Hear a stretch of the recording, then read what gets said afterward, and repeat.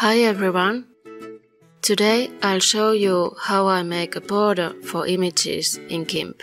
I sometimes use this for my video thumbnails to highlight some part of the thumbnail.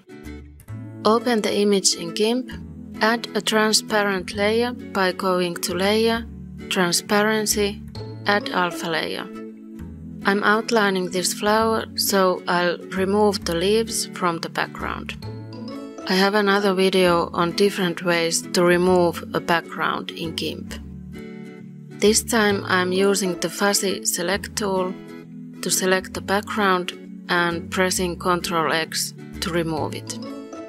Once you've removed the background closely enough, choose the Select by Color tool and click on the empty background so it becomes selected.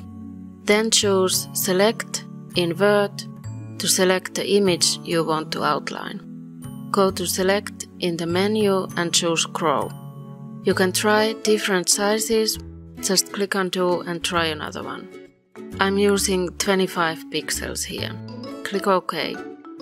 Now choose a color for the outline and use the bucket fill tool to fill the outline.